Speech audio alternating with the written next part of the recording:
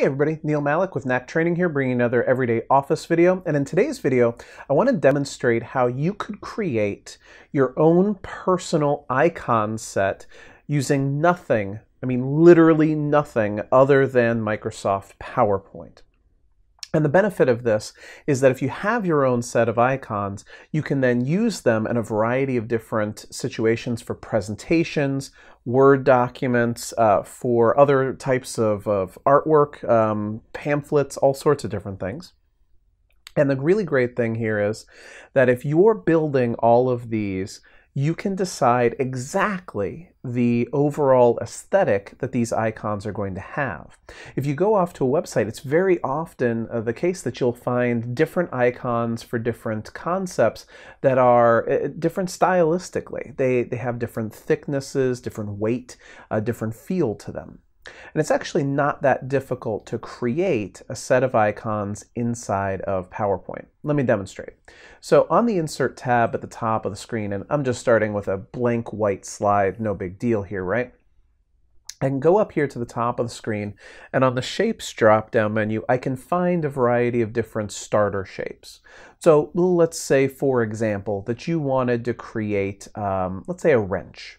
Now, a wrench, to my mind, um, has a, a long handle.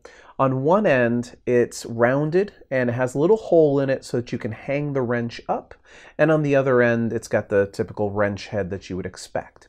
So if you've got a long handle with a curve at the end, we probably want to go with a rectangle like this one. And then the curve at the end could just be a circle. So I'll just go up here on the Insert tab and insert a circle. And I'll just hold down my uh, Shift key here to make sure that I'm starting with a, a nice well-rounded item there, a perfect circle. There we go. We can line those up accordingly. And then maybe we go to insert and we add, uh, what would it be, like a hexagon, something along those lines? Let's see here. Octagon. Let's go with an octagon. Okay. So maybe this will be the wrench head down this way.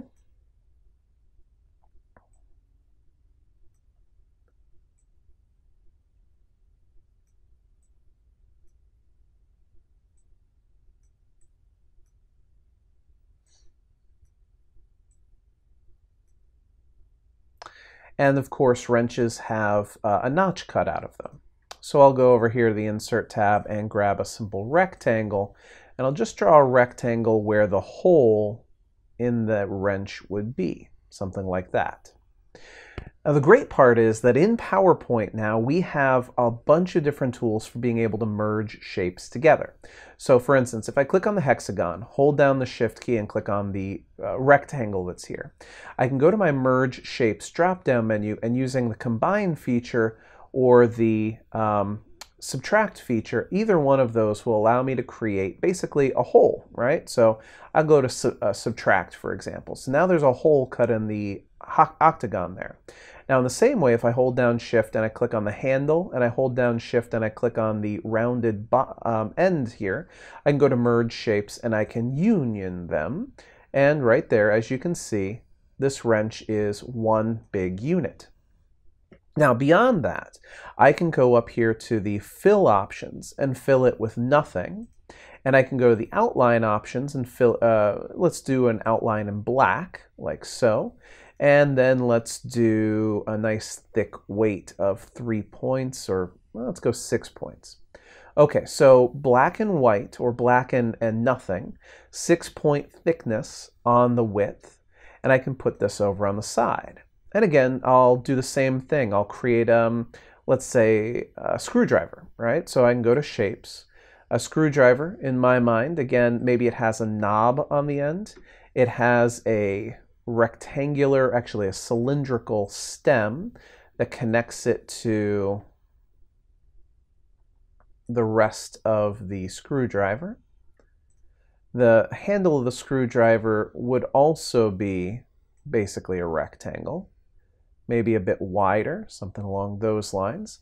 And then we have um, the little knob at the end, right? So I'll insert another rectangle maybe that tall. And another rectangle. Let's go with the same height, right? And then the uh, stem, insert a, another rectangle that's about this long.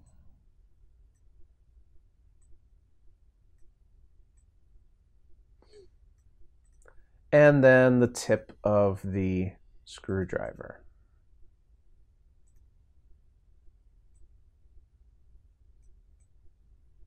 Perfect.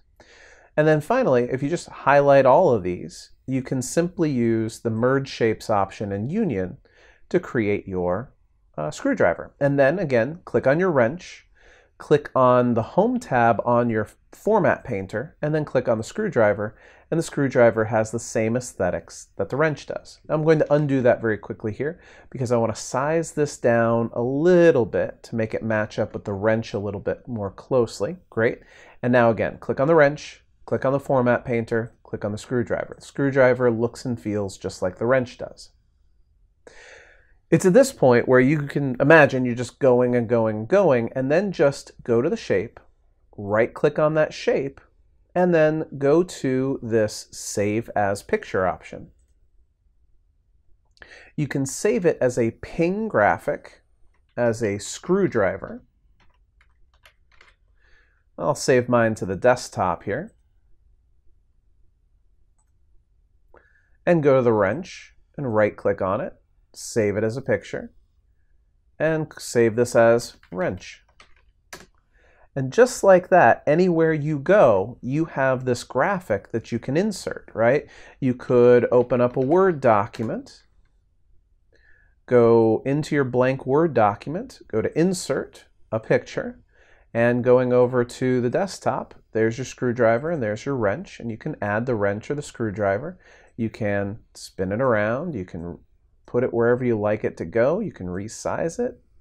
It's all up to you.